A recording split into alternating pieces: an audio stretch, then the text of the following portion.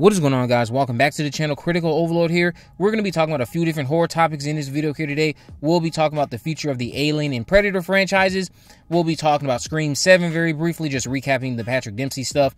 We'll be talking about Final Destination 6, and I'll be sharing my thoughts on the first three episodes of the Creep tapes, which we know is the expansion of the Creep films coming to Shudder next month.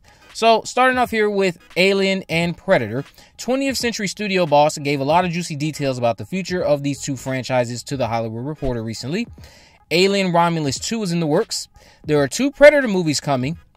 One we already knew about. One was shot in secret, and then he also went into details about a little bit more. On the topic of a Romulus sequel, he said, We're working on a sequel idea now. We haven't quite closed our deal with Fede Alvarez, but we are going to, and he has an idea that we're working on. The two survivors, Rain and Andy, played by Cailee Spaeny and David Jonsson, were real highlights of the film. And so I always think of it like, wow, where do people want to see them go next? We know there's going to be aliens. We know there's going to be great horror set pieces, but I fell in love with both of them and want to see what their story is. Now, obviously, that's confirming to us that Cailee Spaeny and Jonsson will be back playing those sibling characters from Romulus. So hopefully that will come to fruition in a very satisfying way, much like Romulus was. So on the topic of Predator, he said, yes, a Predator movie will have a theatrical release. This is obviously in reference to Badlands. He said, I'll tell you very simply, after Prey became a success, Dan Trachtenberg came back and said he didn't want to do Prey 2.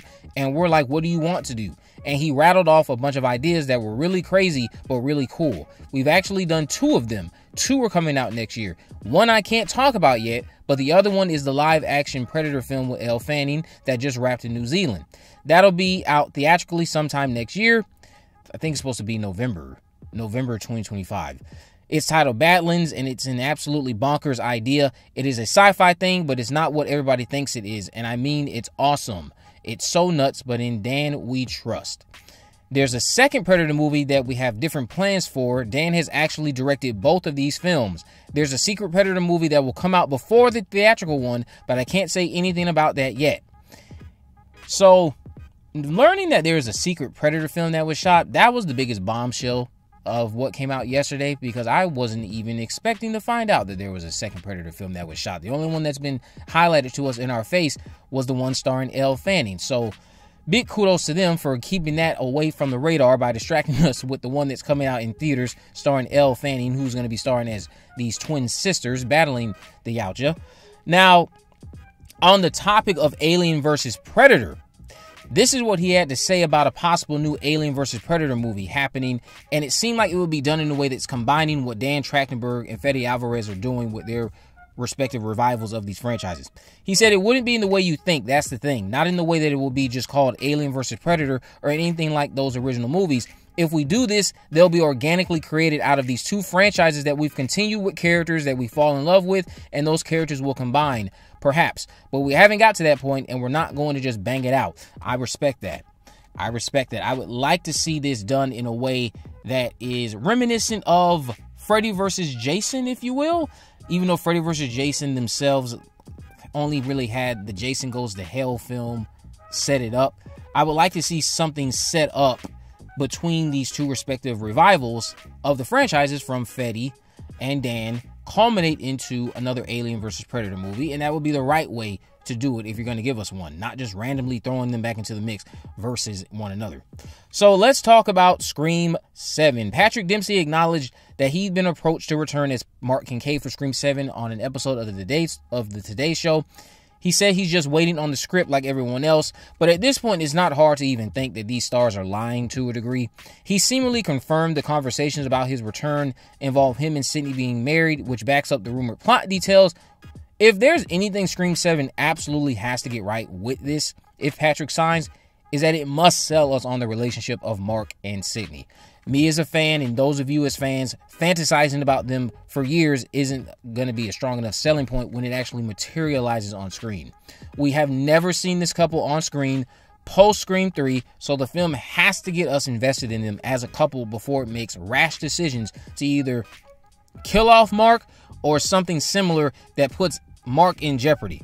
No shade to Mark, Patrick Dempsey himself, a tremendous actor. But I don't know who the hell he is compared to Sidney. So it's a one sided commitment for us at, at, the moment as viewers. We're invested in him only because he's Sidney's husband. But if you do not give him more to work with, and we if if that dynamic isn't explored enough during the events of Scream 7, no matter what happens to him, I won't care. You have to sell us on that relationship. We've never seen it. You're gonna have to get it across to us that we should care about this this unity. So let's talk about Final Destination 6. Final Destination 6 is having another test screening soon, sometime in the first week of November or so. Keep in mind, the lead actress posted something on her IG story a few days ago, hinting at potential reshoots occurring. So, this new screening could expose a second ending. That's not the only thing it could expose. Depending on what the reception is, the studio will decide what ending to go with. Now, of course, as I just referenced, there's also the possibility that the ending will stay the same, but this new material could include an expected cameo from an old survivor that I've talked about in the past who is referenced throughout the sixth movie. So, when it comes to Final Destination 6, those of you who plan to attend this test screening, hope you enjoy. Hope it lives up to your expectations. And hopefully, if anything gets out, it'll be positive feedback. But yeah, they've already made it clear that there is a test screening for this film happening during the first week of November because it's being advertised all over the internet and they're not even hiding what the project is that's being tested. So we'll see what comes of that and if any good news comes from these reactions from the test screening. The last thing we're going to talk about here is going to be the Creep Tapes.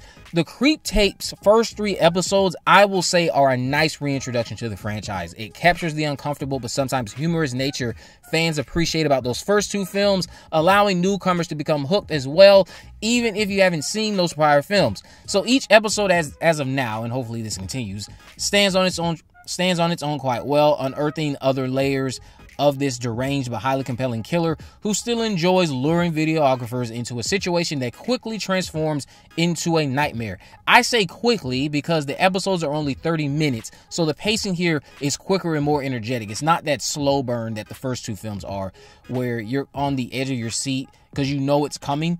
You know it's coming here, but it's a lot more rapid and energetic. The pacing works in his favor because I was invested the entire runtime of each episode, and at the same time, when the episodes ended, I'm I'm wanting to see certain episodes fleshed out into feature length films. I'm not gonna lie. While Creep 3 wouldn't have been a project I scoffed at, the format with the TV show could put a bigger spotlight on this franchise. Mark Duplass remains menacing at all times, but still manages to pull out genuine laughs from time to time with his boisterous behavior that comes and goes with this character. I think everyone's going to enjoy these first three episodes. I think I'm going to enjoy the rest of the season. I just wanted to give my thoughts on the first three episodes that I've watched. So let me know what you guys think about this down in the comment section below. If you haven't already, of course, make sure you subscribe. Turn on post notifications so you never miss a video. In the description, I'll have links to all of my social media accounts. I am on Facebook, Twitter, and Instagram. You can message me there, of course. Let me know if there are any movies, news, or reviews you would like me to cover in the future. And with all that in mind, guys, I will see you in the next video.